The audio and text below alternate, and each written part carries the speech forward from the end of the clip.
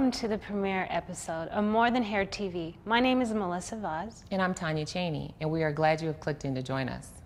We are here hanging out at Michael Grant Salon in Denver, where Tanya is the owner and master stylist. This show has been in works for several months, and we are geared up to share with you different hair stories, styling techniques for different types of hair textures, tips, product recommendation, and all sorts of useful information.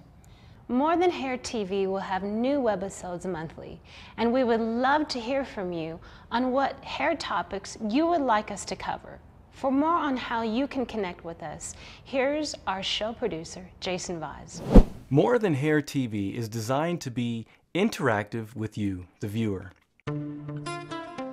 When you visit the More Than Hair TV channel on YouTube, you can connect with us by uploading a video response to the clip titled My Hair Story.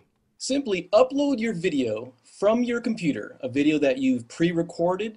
You can do that, or you can directly upload a video from your webcam, just like this.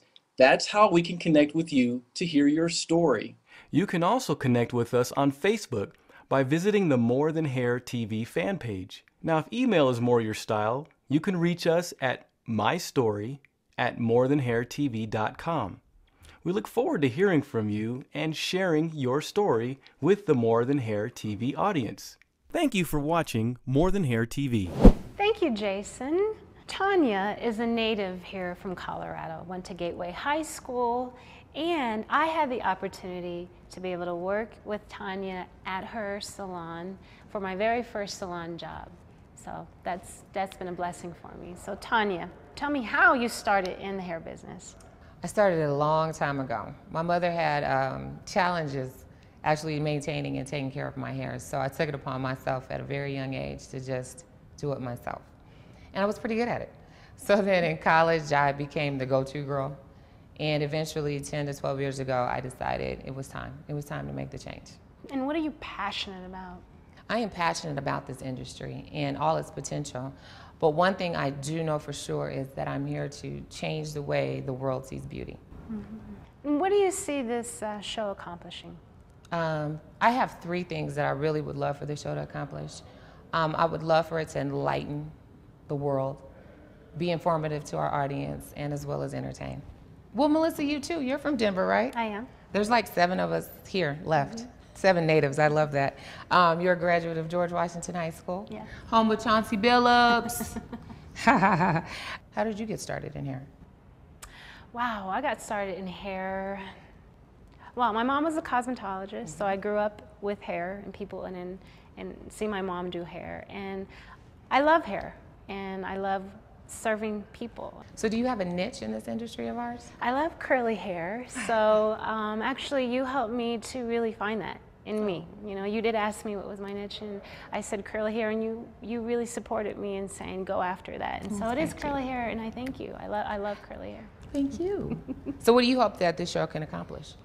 I hope that the show accomplishes um, and provides education for people. Mm -hmm um, not only in hair, but also really for people to uh, understand how they can be involved in their communities and how they can serve communities and really bring out in them um, their passion because we, we're doing our passion. Right.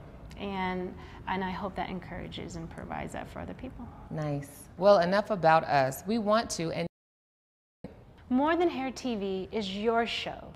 You can interact with us through our Facebook fan page, YouTube, or send us an email to my story at morethanhairtv.com. If you are needing help with your child's hair because of their texture or you have questions about your own hair, we would love to feature your story on the show. Yes, and if you're thinking about the big chop or going natural, we want to hear your story. Coming up on our child feature, you'll meet a very shy 11 year old who is learning how to maintain a healthy head of hair.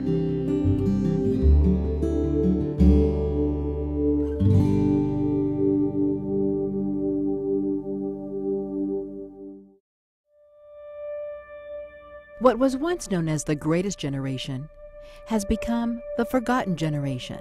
Because people have forgotten them, that makes them feel God has forgotten them. Almost 85% of residents living in skilled care centers never have a visitor. This generation is going to double and triple within the next 10 or 15 years. That's why Crossroads Ministries needs you, volunteers in skilled care facilities. So our volunteers go in, they love on them, they read the scripture to them. Uh, we even have several people who are doing discipleship with them. I think that there's something beautiful about this for both parties, for those that are wanting to volunteer and for those that are being ministered to. Just one or two hours a week can change a life. Let God love someone through you. Partner with Crossroads today. If not you, who?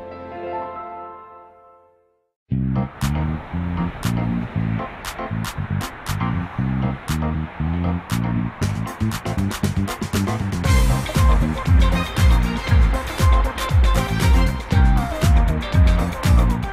of the vision of More Than Hair TV is to give solid information and visual tips to parents and caregivers on how to care for the hair of their children with challenging hair texture.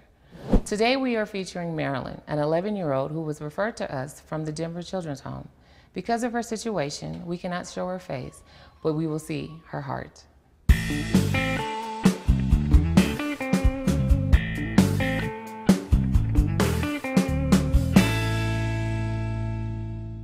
Hi, Marilyn. I'm, I'm Miss Tanya today, okay? It's nice to meet you. We have Marilyn. She's uh, one of our youngest girls right now. She's 11. She gets very shy and quiet at times. So tell me some of the things you like to do with your hair.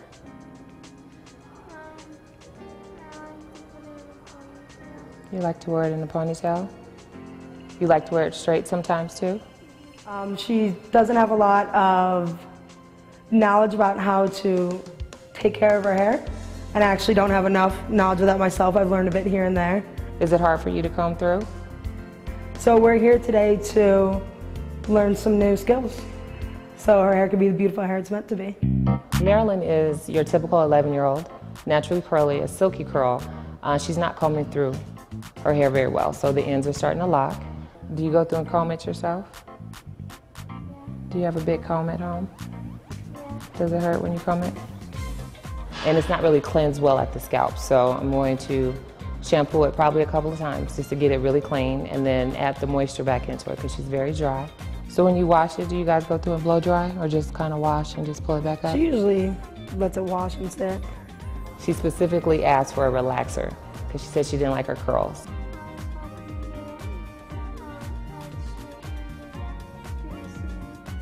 And greasy? So I'm going to talk her through that. You want it moisturized? Yeah, Uh-huh. and um, braided You want it braided? What you typically see with girls this age is they want to look like mainstream. And mainstream is straight hair, flowy hair, and the fact that she can wear her hair both ways. So I want her to understand that she's got the best of both worlds and not to think that her hair isn't pretty the way it is. So chemically relaxing is something that I would definitely opt not to do, but to show her that we can straighten it and she can wear it straight. And then when she wears it curly, for uh, a way to, for her to wear her curls like she likes them.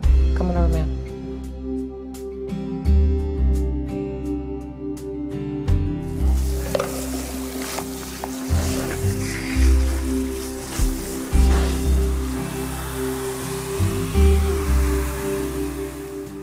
Well, Marilyn was adopted at a very young age, about three, and she has a, a deep history of pre-verbal trauma when she was a child. So a lot of she had a lot of acting out behaviors in the in the home, getting aggressive and not being able to manage with herself. Um, so it came to us to help work on some of that trauma and practice more coping skills so she can manage and go back into the home. There's a lot of stuff when it happens at a pre-verbal age, they can't talk about it. They don't even know what happened to them. They just know how it feels, and they act everything out because they can't talk about it.